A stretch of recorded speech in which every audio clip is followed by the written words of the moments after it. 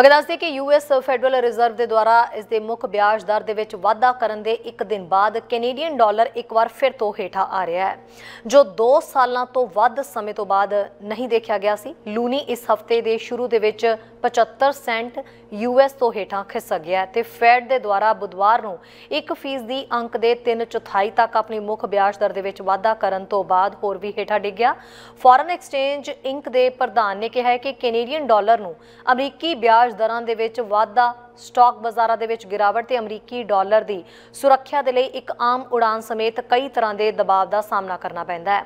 ਉਹਨਾਂ ਦਾ ਕਹਿਣਾ ਹੈ ਕਿ ਲੂਨੀ ਆਰਥਿਕਤਾ ਦੇ ਵਿਕਾਸ ਦੇ ਦ੍ਰਿਸ਼ਟੀਕੋਣ ਤੇ ਸਟਾਕ ਮਾਰਕੀਟ ਕਿਵੇਂ ਕਰ ਰਹੇ ਨੇ, ਨਾਲ ਨੇੜਿਓਂ ਜੁੜਿਆ ਹੋਇਆ ਹੈ। ਇਸ ਦੇ ਲਈ ਗਿਰਾਵਟ ਦੇ ਨਾਲ ਬਾਜ਼ਾਰਾਂ ਦੇ ਵਿੱਚ ਮੁਦਰਾ ਵੀ ਫਿਸਲ ਗਈ ਹੈ। ਉਹਨਾਂ ਕਿਹਾ ਕਿ ਯੂਐਸ ਮਹਿੰਗਾਈ ਦੀ ਸਥਿਰਤਾ ਦਾ ਮਤਲਬ ਸੰਭਾਵਤ ਤੌਰ ਤੇ ਹੋਰ ਦਰਾਂ ਦੇ ਵਿੱਚ ਵਾਧਾ ਤੇ ਬਾਜ਼ਾਰਾਂ ਤੇ ਵਧੇਰੇ ਦਬਾਅ ਹੋਵੇਗਾ, ਜਿਸ ਦਾ ਮਤਲਬ ਆਉਣ ਵਾਲੇ ਮਹੀਨਿਆਂ ਦੇ ਵਿੱਚ ਲੂਨੀ ਲਈ ਹੋਰ ਔਖਾ ਹੋਵੇਗਾ। ਕੈਨੇਡੀਅਨ ਡਾਲਰ ਹਾਲਾਂਕਿ ਜ਼ਿਆਦਾਤਰ ਹੋਰ ਮੁਦਰਾਵਾਂ ਦੇ ਨਾਲੋਂ ਬਿਹਤਰ ਪ੍ਰਦਰਸ਼ਨ ਕਰ ਰਿਹਾ ਹੈ।